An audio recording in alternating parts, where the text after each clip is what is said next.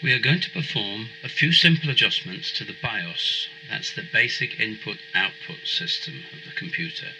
It's the first part of the computer to switch on. It's that part that decides which of the other computer functions will be turned on and in which order.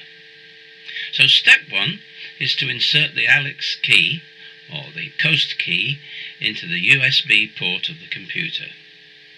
Either restart it if it was already on, or start the computer if it was turned off. Step 2 is immediate. From the moment the machine is booting up, it's essential to go into the setup menu. This happens very quickly and is often achieved by pressing F2, but sometimes Escape, F1 or Del.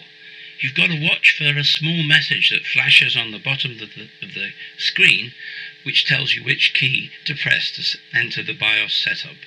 Sometimes it also indicates that you can select the boot menu straight away. Step 3 is to look for the boot menu, sometimes called boot options, sometimes boot order, or sometimes boot sequence.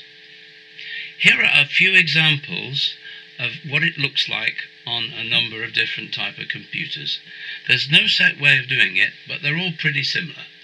Once you have found the boot menu, then you must change the boot order by following the instructions given on the page. There's not much consistency in what manufacturers name the device, but it's usually obvious, like USB, USB hard disk, USB HDD, USB storage device, or sometimes just external device. You must follow the instructions to make USB the number one in the order. Note that in some cases on very new computers, this may have been done already. When you're comfortable that the USB option is definitely number one, just follow the instructions to save and exit the menu, then carry on with the boot up process. These changes will have had no effect upon the operation of the host computer. The ALEX operating system on Coast will now boot up from the stick in the USB slot. This screen will appear and you're ready to go. The Microsoft operating system resident on the PC was never opened and will not be used.